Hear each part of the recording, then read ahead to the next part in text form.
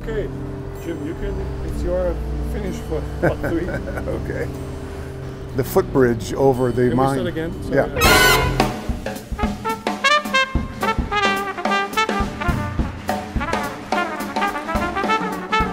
So why don't we go?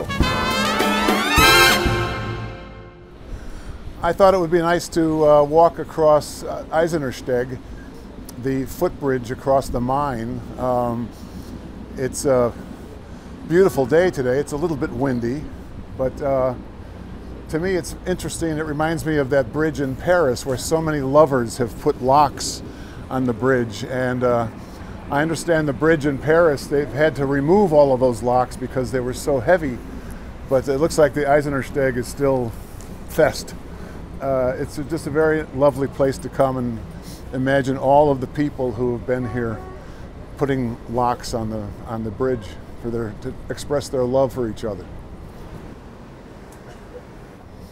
Well, I think the one I've I've been to the most is the Städel Museum, um, and uh, I've been here at least once for the uh, Museums Fest, uh, which is really interesting. I, I went to several other museums. Uh, there's one I think for fabric art and uh, and one for more modern kinds of kinds of art, and uh, but I think that Städel probably uh, is still my favorite here.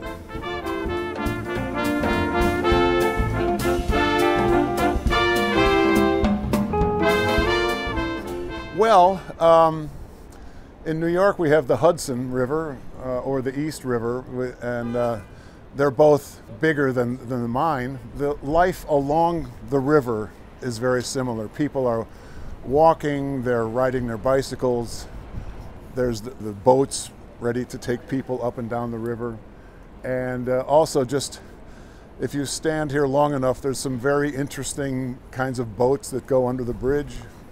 And uh, so it, it reminds me somewhat of, of New York. And when I look and I see the European Central Bank off in the distance, that looks a little bit like the United Nations building on the East River. Well, it's been great to visit the Dom and the Römer and uh, now the Eiserner Steg and uh, to see everything down by the river. Now, now maybe we could go further into the city to the